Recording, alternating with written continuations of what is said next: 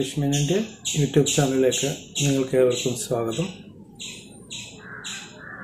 Inverter buying guide എന്ന ആ Serie ആ ഒരു വിഭാഗത്തിലെ നാലാമത്തെ വീഡിയോ ആണിത്.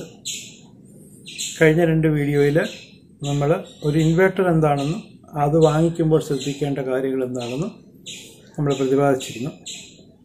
അതുപോലെ തന്നെ ഇന്ന് ഒരു സോളാർ ഇൻവേർട്ടർ സിസ്റ്റം വാങ്ങിക്കുമ്പോൾ അതിന്റെ രണ്ടാമത്തെ പ്രധാന ഘടകമായ ബാറ്ററി വാങ്ങിക്കുമ്പോൾ നമ്മൾ ശ്രദ്ധിക്കേണ്ട കാര്യങ്ങളാണ് ഇന്ന് പറയുന്നത്. ഈ ബാറ്ററി എന്ന് പറയുമ്പോൾ നമ്മൾ ഇതിൽ പ്രതിപാദിക്കുന്നത് ലീഡ് ആസിഡ് ട്യൂബുലാർ ബാറ്ററിയാണ് കാരണം ബാറ്ററി ഒത്തിരി തരത്തിലുള്ളതുണ്ട്. അത് നമ്മൾ സാധാരണയായിട്ട് ഉപയോഗിക്കുന്ന ലീഡ് ആസിഡ് ട്യൂബുലാർ ബാറ്ററിയെ പറ്റിയാണ് ഇതിൽ നമ്മൾ പ്രതിപാദിക്കുന്നത്. മെയിനായിട്ട് നമ്മൾ ബാറ്ററി ബാറ്ററിയെ പറ്റി നമ്മൾ മാർക്കറ്റിൽ എൻക്വയറി ചെയ്യുമ്പോൾ ധാരാളം കമ്പനികൾ മാർക്കറ്റിൽ അവൈലബിൾ ആണ്. അതിൽ ഭയങ്കര റെപ്യൂട്ടഡ് ആയ കമ്പനികളുണ്ട് തീരെ ശ്രദ്ധിക്കപ്പെടാത്ത കമ്പനികളുണ്ട് പക്ഷെ നമ്മൾ ആ കം ആ ബാറ്ററിയുടെ ചില കാര്യങ്ങളെ പരിശോധിച്ച് അല്ലെ അതിന്റെ ആ ഗുണ നിലവാരത്തെ പരിശോധിച്ചിട്ടാണ് നമ്മൾ ബാറ്ററി വാങ്ങിക്കേണ്ടത്. അതായത് ഒരു ബ്രാൻഡ് ഐറ്റം ആയതുകൊണ്ട് അത് ഒരിക്കലും അതിന്റെ ഗുണനിലവാര ഗുണനിലവാരം ഏറ്റവും മികച്ചതായിരിക്കണമെന്ന് അർത്ഥമില്ല അതുപോലെ ഞാൻ എന്റെ വീഡിയോയിൽ ചില പ്രോഡക്റ്റും ബാറ്ററിയും കാണിക്കുന്നുണ്ട്. അത് ഒരു റെഫറൻസിന് വേണ്ടി ഞാൻ കാണിക്കുന്നുള്ളതേ ഉള്ളൂ. അത് വാങ്ങിക്കണമെന്ന് ഞാൻ ആരോടും പറയുന്നില്ല. പക്ഷേങ്കിൽ അതുപോലെ ഗുണനിലവാരമുള്ള അല്ലെങ്കിൽ അതേ അതേ ഗ്രേഡിൽ നിങ്ങൾക്ക് ഇഷ്ടപ്പെട്ട ഒരു ബ്രാൻഡ് നിങ്ങൾക്ക് തിരഞ്ഞെടുക്കാം. അപ്പം വിഷയത്തിലേക്ക് കിടക്കട്ടെ. അപ്പം നമ്മൾ ട്യൂബുലാർ ബാറ്ററി വാങ്ങിക്കുമ്പോൾ അതിൽ മെയിനായിട്ട് നമ്മൾ ശ്രദ്ധിക്കേണ്ടത് ഫിസിക്കലി ഉള്ള അതിന്റെ എഫിഷ്യൻസിയാണ് ബാറ്ററിയുടെ നമുക്ക് കാണാവുന്ന അതിന്റെ കേസിങ് എന്ന് പറഞ്ഞാൽ അതിന്റെ അതിന്റെ കവറിങ് എങ്ങനെയാണ് അത്? പറഞ്ഞാൽ അതിന്റെ ആ ബാറ്ററിയുടെ ആ ബാറ്ററി സെല്ലുകൾ വെച്ചിരിക്കുന്ന ആ ബാറ്ററിയുടെ പുറംചട്ട എങ്ങനെയുള്ളതാണ്? അത് എത്രമാത്രം സ്ട്രോങ് ആണ്? അതിന് നമ്മൾ എന്തെങ്കിലും മൂവ്മെന്റുകൾ നടത്തുമ്പോൾ അല്ലെങ്കിൽ എടുത്തു മാറ്റുന്ന സമയത്ത് അല്ലെങ്കിൽ മുട്ടിയാലോ തട്ടിയാലോ ക്രാക്ക് വരത്തക്കോറുള്ള സിമ്പിളായ മെറ്റീരിയലാണ് ഉപയോഗിച്ചിരിക്കുന്നത്. അതോ കുറേ സ്ട്രോങ് ആയ മെറ്റീരിയലാണ്. അതിൽ നമുക്ക് വേണ്ടത് ഏറ്റവും ഹാർഡനായിട്ടുള്ള അത് ആ കേസിംഗ് ആണ് നമുക്ക് വേണ്ടത്. കാര്യം ഇല്ലെന്നുണ്ടെങ്കിൽ നമ്മൾ നമ്മൾ എന്തെങ്കിലുമൊക്കെ മാറ്റി എടുക്കുകയോ ചെയ്യുമ്പോൾ മുട്ടുകയോ തട്ടുകയോ അങ്ങനെയുള്ള കാര്യങ്ങളാൽ അത് പൊട്ടിപ്പോകാനുള്ള ചാൻസ് ഉണ്ട്. അപ്പോൾ ഒന്നാമത്തെ കാര്യം ഫിസിക്കലി നമ്മൾ അതിനെ എക്സാമിൻ ചെയ്യുക എന്നുള്ളതാണ്. കാര്യം അതിപ്പോൾ ഒരു പുതിയ പാക്കറ്റ് പൊട്ടിച്ച് പരിശോധിക്കുന്ന അസാധ്യമാണ്. അപ്പോൾ അത് വാങ്ങിച്ചിട്ടുള്ള അല്ലെങ്കിൽ അതിന്റെ വേറൊരു അവിടെ ഡിസ്പ്ലേക്ക് വെച്ചിരിക്കുന്ന അതിന്റെ ഒരു ബാറ്ററിയുടെ കേസിനെ പറ്റി നമുക്ക് ഫിസിക്കലി നോക്കാം. എത്രമാത്രം സ്ട്രോങ് ആണ് എത്രമാത്രം നമ്മുടെ യൂസിന് അനുക ഇതാണ്. കാര്യം നിങ്ങൾക്ക് എല്ലാവർക്കും ഒരേ ഇത് നല്ല എല്ലാ ബാറ്ററികളും അറുപത് അറുപത്തഞ്ച് കിലോ വെയിറ്റ് വരുന്ന ബാറ്ററികളാണ്. രണ്ട് അത് അതിന്റെ മാനുഫാക്ചറിങ്ങിൽ അവർ എന്തെല്ലാം ന്യൂവസ്റ്റ് ആയിട്ടുള്ള ടെക്നോളജികൾ ഉപയോഗിച്ചിട്ടുണ്ട്.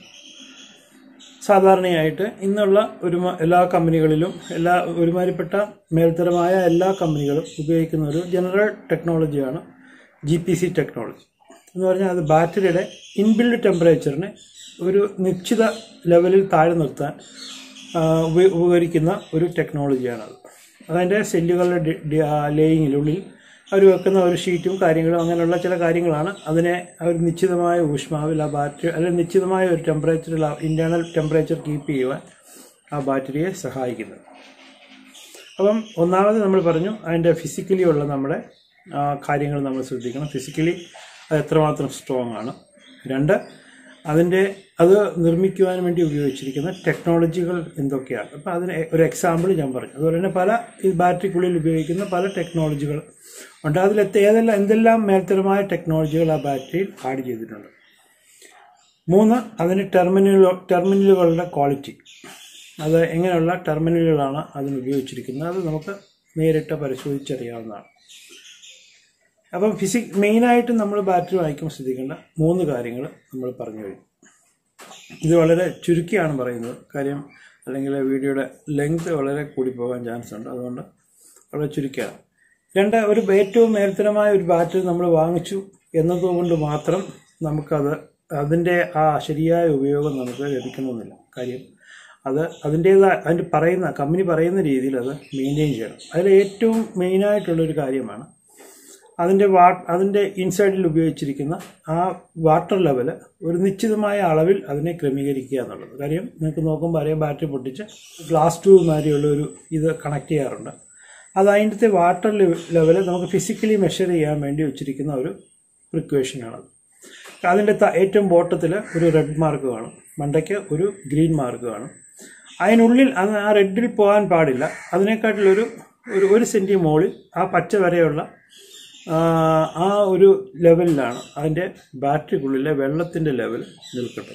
കാര്യം അതിൽ കുറഞ്ഞു പോയാൽ ബാറ്ററി ഡ്രൈ ആകാനും ബാറ്ററിയുടെ സെല്ലുകൾ വീക്കായി പോകാനും ചാൻസ് ഉണ്ട്. പിന്നെ അത് അതിന്റെ പഴയ പെർഫോമൻസിലേക്ക് അതിനെ തിരിച്ചു കൊണ്ടുവരിക എന്ന് പറഞ്ഞാൽ ഇച്ചിരി ആ ഒരു സാധ്യമായ കാര്യമല്ല. പക്ഷെ നമുക്ക് റീചാർജ് ഒക്കെ ചെയ്തെടുക്കാൻ പറ്റുമെങ്കിലും ആ ഒറിജിനൽ ആ ഒറിജിനലായി കിട്ടിക്കൊണ്ടിരുന്ന പെർഫോമൻസിന് വളരെ മാറ്റം സംഭവിക്കും. അപ്പോൾ അതുകൊണ്ട് ജനറലായിട്ട് മെയിനായിട്ട് ചെയ്യേണ്ട ഒരു മെയിന്റനൻസ് ആണ് അതിന്റെ ബാറ്ററിയുടെ പ്രോപ്പറായിട്ടുള്ള അതിന്റെ വാട്ടർ ലെവൽ നമ്മൾ മാനേജ് ചെയ്യുക എന്നുള്ളത്. കാര്യം അത് മാത്രമേ ഫിസിക്കലി നമുക്ക് ചെയ്യാൻ പറ്റത്തുള്ളൂ. രണ്ട് അതിന്റെ ടെർമിനേഷൻ അതിന്റെ ബാറ്ററി ടെർമിനലുമായിട്ട് ബന്ധിപ്പിച്ചിരിക്കുന്ന ആ ടെർമിനലുകൾ നല്ല അതിനകത്ത് നട്ടും ബോൾട്ടും ഇട്ട് നല്ല നല്ല ടൈറ്റ് ചെയ്ത് അത് ഗ്രീസ്ഡ് ചെയ്ത് മാത്രമേ ഉപയോഗിക്കാൻ പാടുള്ളൂ. കാര്യം അല്ലെന്നുണ്ടെങ്കിൽ ചെറിയ ചെറിയ സ്പാർക്കിംഗ് ഉണ്ട് അതിന്റെ ടെർമിനലുകൾ ടെർമിനലുകൾ ഡാമേജ് ആകാനിടയാകും.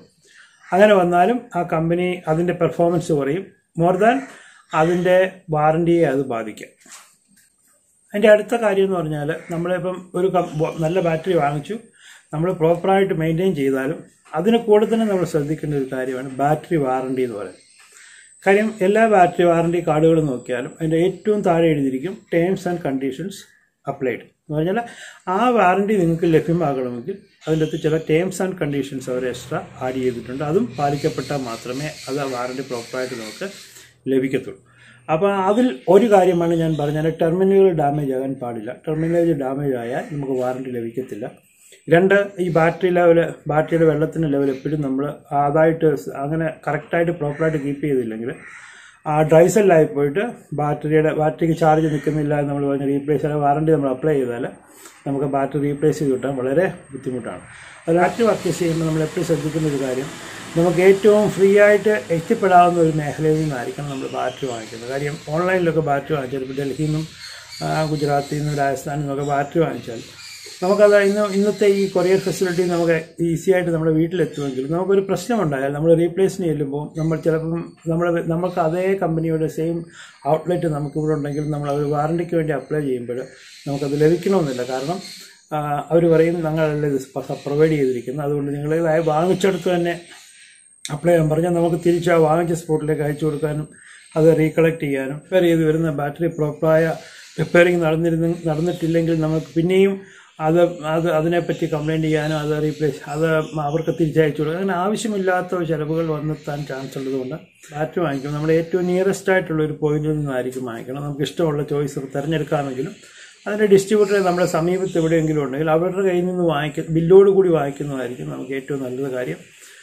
ബില്ല് ട്വന്റി എയ്റ്റ് ആണ് ടാക്സ് അപ്പോൾ ടാക്സ് ഇല്ലാതെ നിന്ന് കിട്ടുന്ന കാര്യം ബുദ്ധിമുട്ടാണ്. എങ്കിലും ബില്ലില്ലാതെ വന്നാൽ ഇച്ചിരി രൂപ കുറച്ച് തരാമെന്ന് പറഞ്ഞാൽ ബില്ലില്ലാതെ വാങ്ങിക്കരുത് കാര്യം. അങ്ങനെ ബില്ലില്ലാതെ വാങ്ങിച്ചാൽ അതിന്റെ വാറണ്ടിക്ക് അത് എഫക്റ്റ് ഇടാം. അപ്പോൾ നിങ്ങൾ ഇൻവേർട്ടർ ഒരു സോളാർ ഇൻവേർട്ടർ വാങ്ങിക്കുമ്പോൾ ഇൻവേർട്ടറിൽ നിങ്ങൾ ശ്രദ്ധിക്കേണ്ട കാര്യങ്ങൾ നേരത്തെയുള്ള എപ്പിസോഡുകളിൽ പറഞ്ഞിരുന്നു.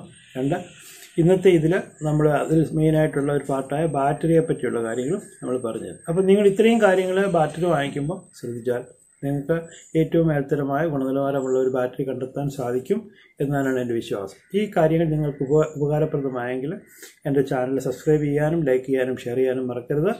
അടുത്തൊരു എപ്പിസോഡിൽ നമുക്ക് കാണാം. എല്ലാവർക്കും ഒരു ശുഭദിനം ആശംസിക്കുന്നു.